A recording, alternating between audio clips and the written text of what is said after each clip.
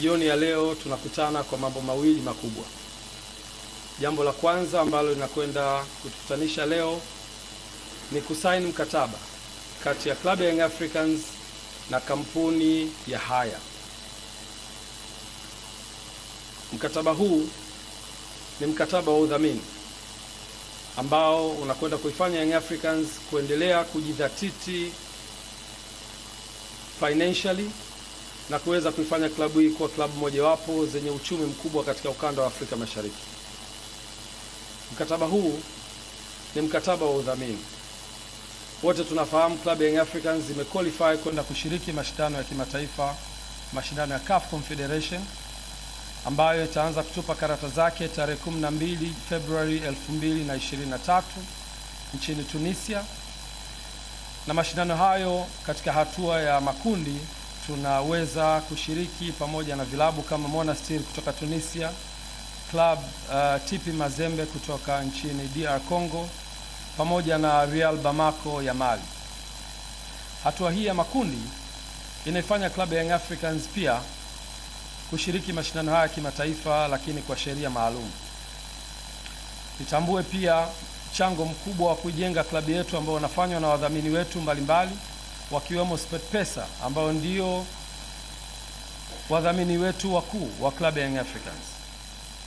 Lakini kuwepo kwa SportPesa akiwa kama mdhamini mkuu wa klabu ya Young Africans kuna kwenda kulingana au kuendana na changamoto za kimarketing au za kimaudhui ya marketing katika mashindano haya ya kimataifa. Historia fupi nitaieleza.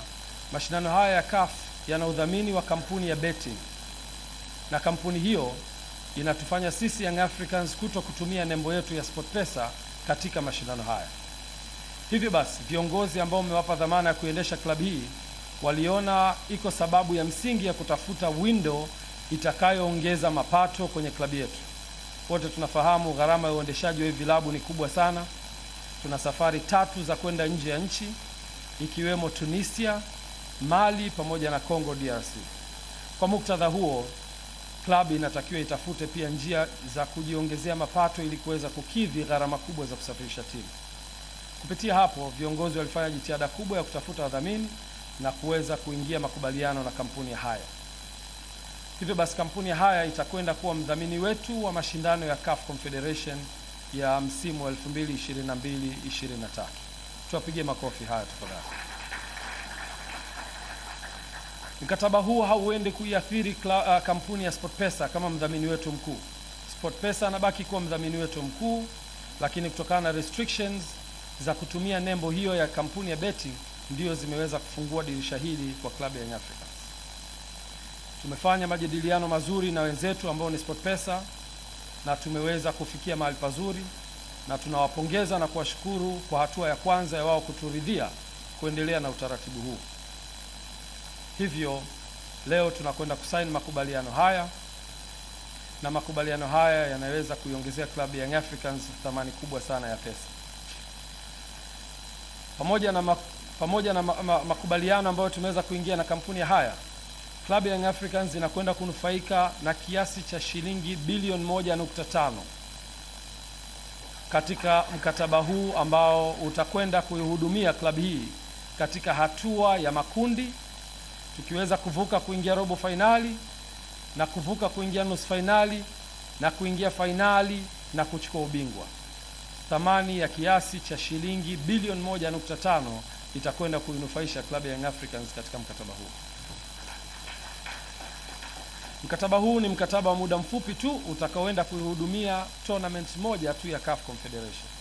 Kama nilivyosema, tunaheshimu sana nafasi ya SportPesa katika udhamini wetu, na hii haiathiri mtiririko mzima wa udhamini katika msimu huu ambao tumeweza kusaini na SportPesa katika kipindi cha miaka mitatu. Nichukue fursa hii kuwapongeza sana watu wa Haya, kampuni ya Haya tunaipongeza sana kwa jitihada hizi ambazo mmezifanya, na kiukweli hamwendi kuisaidia Young Africans peke yake, mnakwenda kusaidia mpira wa nchi hii. Asanteni sana Haya.